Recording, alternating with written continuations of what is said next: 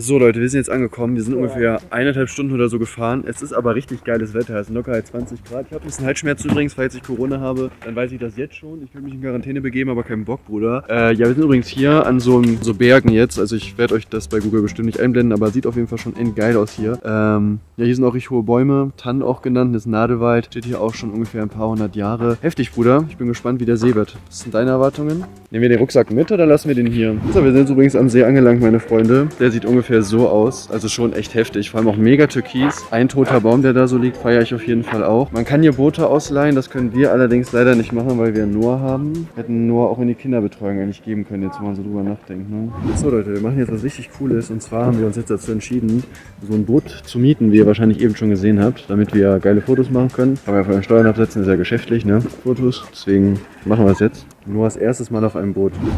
So Leute, wie eben schon erwähnt, haben wir uns jetzt hier so ein äh, chilliges Boot gemietet. Alter, für eine halbe Stunde. Ist auch relativ günstig, 19 Euro finde ich, geht auf jeden Fall fit. Das heißt, wir sind jetzt hier mitten im Meer und ich... See. Ach Tim, Mann, Ich lass will- es doch mal, muss das sein? Ja, ich will gucken, wie... Oh, Digga, das Wasser ist arschkalt, Digga. No joke. Guck mal, wie kalt kalt das Wasser ist. Ja, toll. Wenn du dich zu weit nach drüben gibst, gibt's um. Nein! Mensch! Tim, lass es. Ich sitze hier ganz normal in dem... jetzt- Ruder, Ruder, Ruder das Boot. Ruder das Boot, jetzt gleich. Ist auch lustig, wie du siehst, wie die Leute hier Fotos für Instagram und so weiter machen. Mann, du weißt ganz genau, was hier abgeht. Hier wird nicht gemietet, weil man Bock hat, ein bisschen zu paddeln. Wird gemietet, zu flinzen. Schön nach vorne und dann mit dem Körper nach hinten und ranziehen, Alter. So rudert man richtig, meine Freunde. So und zack. Schnitt 10, Timo.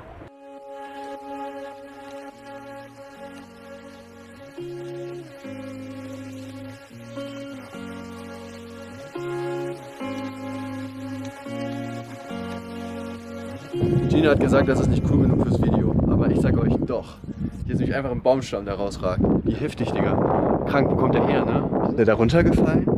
Dann da rein? Heftig, oder? Baumstämme sind krank, Alter. Denk mal drüber nach. So, Leute. Wir waren jetzt mit dem Boot dingsen. Ist auf jeden Fall wirklich sehr, sehr cool. Ich muss aber auch sagen, wenn wir jetzt keine Fotos gemacht hätten, eigentlich auch darauf verzichten können. Ein Picknick wäre da geil gewesen. Ohne- Aber die Bilder da drauf sind halt schon die. Bilder sind wirklich mega geworden. Ich blende euch hier vielleicht einfach mal zwei, drei Stück ein. Also dafür hat es sich auf jeden Fall gelohnt. Und wie gesagt, das ist ja auch nicht teuer. Wir holen jetzt den Kinderwagen von Noah wieder aus dem Auto raus. Dann werden wir chillig was snacken. Und dann gucken wir mal, wo uns der, Hint, der Wind hintreibt. Der Hint rinnt weit. Jungs, die Auswahl hier ist einfach krank, Alter. Würste mit Brot, Würste mit Pommes, Bratwurst mit Brot, Bratwurst mit Pommes. Dann jetzt auch so Pommes, Pizza. Ja, Pizza ohne Pommes leider. Schreibt in die Kommentare, was ihr denkt, was ich nehme. Ich werde es euch gleich zeigen.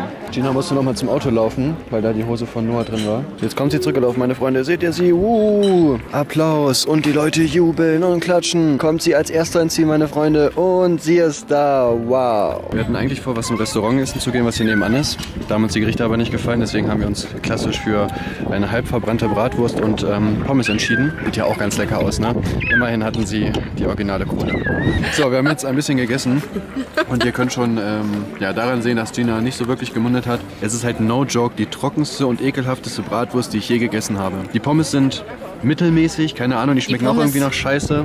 Sind so hart, Leute. Ja, die sind so hart, dass der Löffel einfach abbricht, die Gabel. So, ich meine, klar, das ist so ein fertig, schnell Guckt euch das, das- was ist das für ein Croissant? Was? Alter, das ist doch nur furztrocken. Ja. Mann, was soll ich denn Noah geben? Was ist das? Ich habe schon gerade gesagt, ich schmeiß ihm das gleich vor die Füße.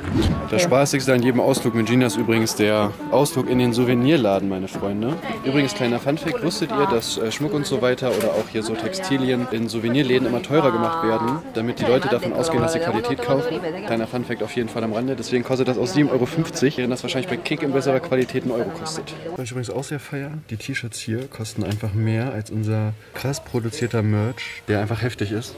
Deswegen bestellt auf jeden Fall bei Needed, Hashtag Werbung. Da wisst ihr, dass ihr auch was für euren Preis bekommt. So Leute, wir sind jetzt tatsächlich schon wieder auf dem Rückweg. Wir wandern jetzt irgendwie zwei Stunden. Wir hatten eigentlich vor, noch wandern zu gehen, aber das Problem ist, dass Gina das Essen für Noah in der Tiefgarage vergessen hat. Deswegen ist jetzt etwas quengelig und ihr habt ja auch gerade das Essen gesehen. Also lecker war das nicht und da gab es dann dementsprechend auch nichts für Noah. Deswegen müssen wir jetzt äh, schon wieder zurückfahren und dann gucken wir einfach mal, was wir machen. Na, wir können dann Noah in die Nachmittagsbetreuung geben oder so.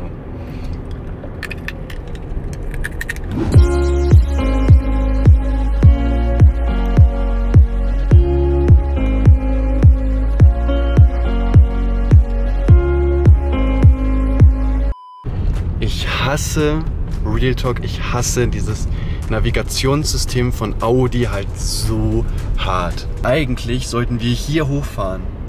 Diesen Weg gibt's aber einfach gar nicht sondern der geht hier vorne halt zur Seite. Jetzt sind wir auf so einem Wanderweg oder sowas, wo auch stand, dass das ein privater Weg ist. Aber ich habe auch nicht mehr so viel im Tank. Das heißt, ich muss jetzt einfach hier lang fahren und hoffen, dass wir irgendwie wieder auf die Straße kommen. Digga, was macht dieses scheiß Navigationssystem von Audi? Was ist das für eine Strecke, Digga? Junge, ich schwöre, ihr könnt das Ding könnt ihr wegwerfen, Alter.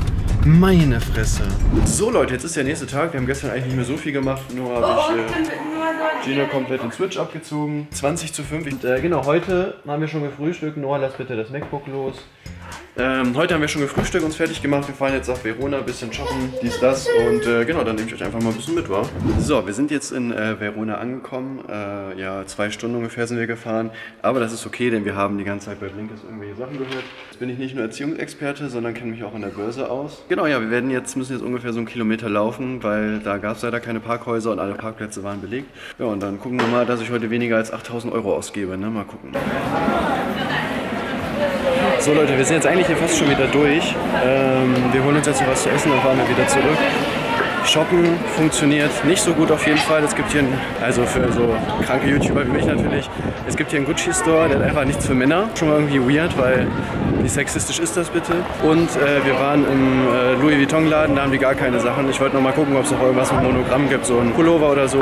Auch nicht bekommen. Das Einzige, was es hier auf jeden Fall gibt, ist Hugo Boss. Das ist also immer am Start. Ich zeige euch noch, was ich geholt habe. Und äh, hier gibt es so einen Laden, der so Burberry und äh, Stone Island und Montclair hat. Und da habe ich mir endlich den standardmäßigen Burberry Sweater gehört, äh, geholt, den gefühlt jeder YouTuber hat. Gina ist mega gestresst mal wieder, also alles wie immer. Und, nein, nein, nein, nein, nein, nein, nein. Ich wollte nur noch mal anmerken, dass der Typ im Louis Vuitton Store gesehen hat, dass wir nicht von hier kommen und aber fragt uns, soll ich Ihnen das bestellen?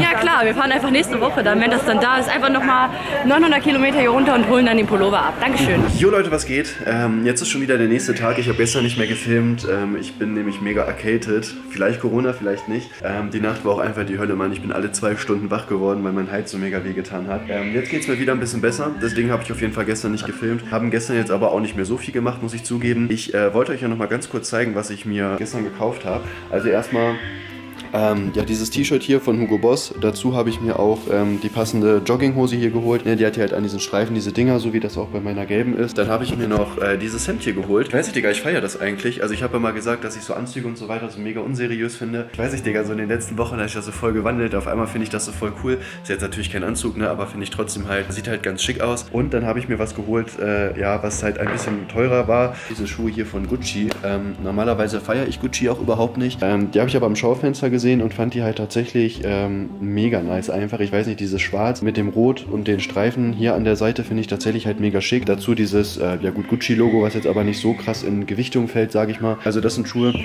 die ich tatsächlich mega cool fand und äh, jetzt habe ich mich erstmal dann wieder ausgekauft. Mehr Geld wird erstmal für Klamotten hoffentlich nicht mehr ausgegeben. Heute ist äh, nicht so viel geplant. Heute ist ja der letzte Tag. Ne? Heute Abend müssen wir auch ein bisschen ruhiger machen, weil morgen muss ich ja wieder neun Stunden Auto fahren. Wir wollten noch so einen Berg mit der Gondel fahren. Da kann man dann mit so einem Mountain Card irgendwie runter. Gina kann das dann wahrscheinlich nicht machen, weil sie mit nur runtergeht, ähm, falls wir das heute machen. Da mache ich das aber auf jeden Fall und nehme euch da auf jeden Fall filmerisch nochmal mit. Ansonsten muss ich jetzt duschen. Da muss ich nämlich mein Cake News machen, denn auch im Urlaub muss man Videos erstellen, meine Freunde. So Leute, was geht? Wir sind jetzt hier in der Gondel angekommen. Wir fahren jetzt nach oben. Wir machen das dann so, dass ich äh, mit dem Mountain Card runterfahre. Das dauert so eine halbe Stunde. Hat Gina gesagt, ist okay.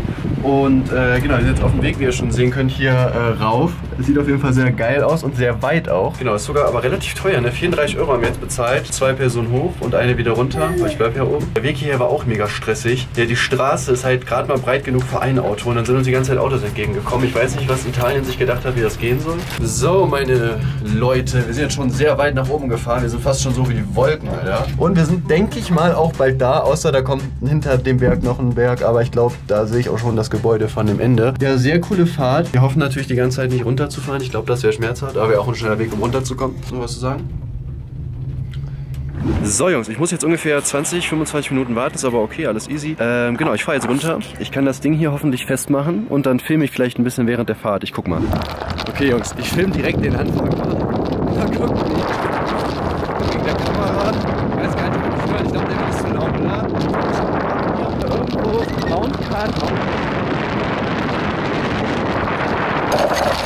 So Jungs, ihr habt ja teilweise die Fahrt auf jeden Fall gesehen. Das war mit dem Stativ doch nicht so einfach, es ist die ganze Zeit weggerutscht. Ich hoffe, da sind wenigstens zwei, drei Aufnahmen drin, die man auf jeden Fall mit reinschneiden kann. Wenn nicht, dann schneid einfach irgendwas rein, Timo, ist egal.